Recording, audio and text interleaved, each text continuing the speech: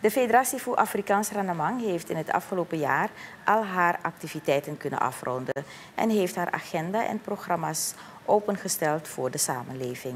De afsluiting van de federatie was de jaarlijkse Sweetwatra, die voor de 31ste keer is gehouden op het Vlaggenplein. Federatievoorzitter Iwan Wijngaarden deelde enkele van de voornemens voor 2024.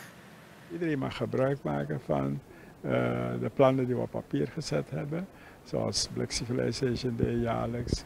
En, uh, en dan kan men adviezen vragen. Ontwikkelingsdoelen hadden we ook. Het hele pakket hebben we openbaar gemaakt. En zo hebben we van het jaar hebben we bijvoorbeeld op Wanhati hebben ze gevraagd om uh, Black Civilization, we noemen het geen Black Civilization Day meer, maar een Afro Day. Omdat die Black Civilization, dan legt men het accent meer op, op de persoon. Maar het gaat meer om de beschaving van de persoon. Uh, en dat is de achtergrondgedachte dat het een bijdrage levert aan de wereldbeschaving. En op het moment dat je gaat praten over black, niemand is zwart. Maar als ik zwart naast je zet, dan, dan zie ik duidelijk een verschil. Dus we zijn afro.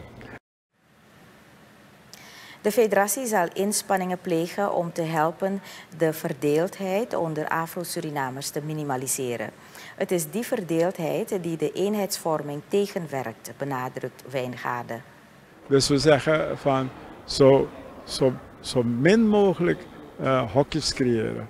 We praten ook, we gaan uh, zeg maar feest vieren in het noordoosten van Suriname, waar je zeker drie tribes hebt.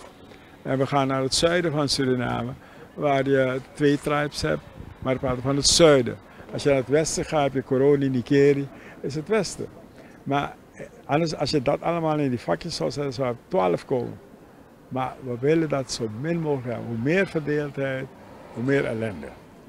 Dus onze policy voor het nieuwe jaar is zo min mogelijk in hokjes gaan werken. Echt een beetje bundelen.